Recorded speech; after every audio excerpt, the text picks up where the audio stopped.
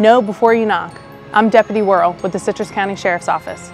Parents, before you take your little ones out trick-or-treating this year, please download the CCSO app. The CCSO app has a lot of useful resources and information, like a map of all registered sexual offenders in the area so you can avoid these spooky houses. Happy Halloween, Citrus.